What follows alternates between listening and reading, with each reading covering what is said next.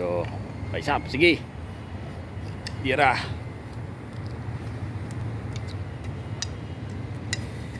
Three battles in the air. So, dito kami ngayon guys, nagpapawis. Morning shift. Yung mga gamit natin. Pote. Bacardi. So, ito yung mga tin natin. So, nakalimutan natin magdala ng tubig. So, sobrang init. Sobrang init mga lods. Ano yan? Bagong moves? Bago, bago. Yan, gagawa siya ng bagong galawan guys. Ang paghahanda.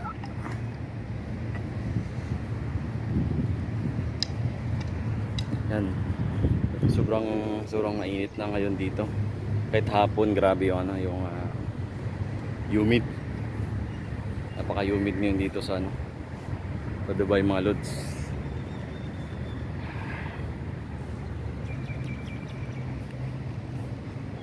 Ayan. Tingnan natin yung bagong galawan ni ano, Lods James.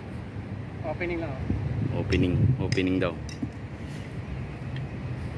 So, dito kami nagpa-practice guys.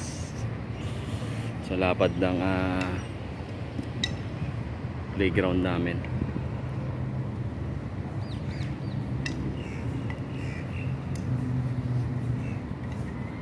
Kita mo yung damo.